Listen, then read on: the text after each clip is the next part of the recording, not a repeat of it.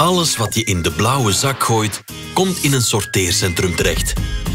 Daar sorteren we de verschillende materiaalsoorten verder uit aan de hand van wervelstroomscheiders, infrarooddetectoren en andere technologieën. Alleen lukt dat niet als de verpakkingen in elkaar gestoken of in elkaar gestapeld zijn. Of als ze in een kleiner dichtgeknoopt zakje zitten. Want dan kunnen de verpakkingen niet apart van elkaar worden uitgesorteerd. Of kunnen de machines de verpakkingen niet herkennen.